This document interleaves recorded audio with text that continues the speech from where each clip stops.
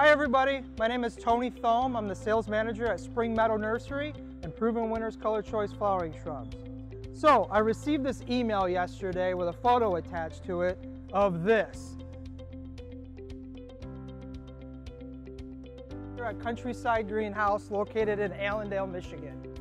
I am super excited for them to release this program for the first time.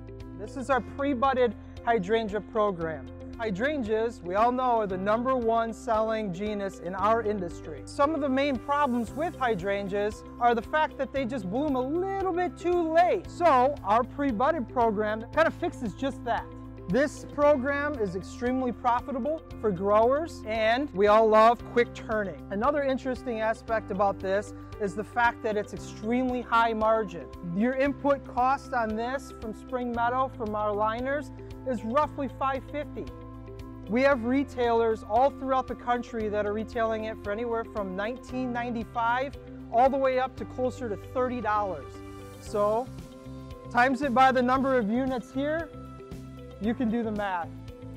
Diving into a little bit more about the process, I want to take it over to Jennifer Cobb uh, back at the nursery. She can talk to you a little bit more in-depth knowledge about uh, what we do to the liner to prepare it to look like this. Hi, my name is Jennifer Cobb. I am an assistant growing manager here at Spring Meadow Nursery. I'm standing here with our pre-buds, taking our QT product that we are currently shipping out to our customers and I'm shifting them up into a gallon pot so that we can do a trial of what our product is actually doing once it's at its finished stage. We're looking for good even branching. We're looking for a lot of very healthy buds and maintaining that health of the bud throughout the entire process.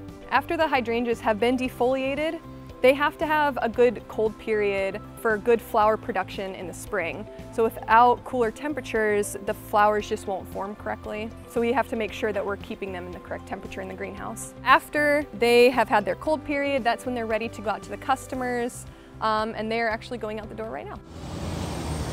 We like you to place the liners, let them root in a little bit in the liner themselves for about two weeks.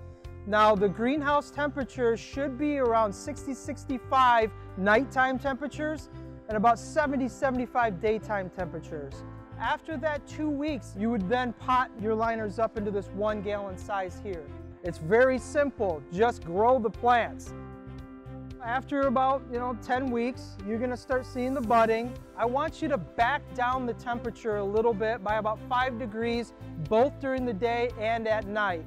That's where you, when you're gonna start seeing the coloration really take effect. The more vibrant colors, the better blooms. This program is essentially designed for ease, for fast turnaround, and for you to make a lot of money on.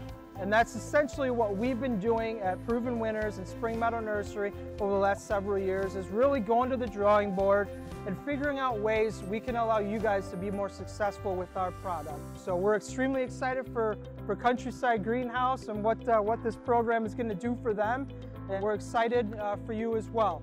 Don't forget to pre-book your orders. We typically sell out as we get into fall, so don't hesitate. Let's sell a lot of plants. Thank you.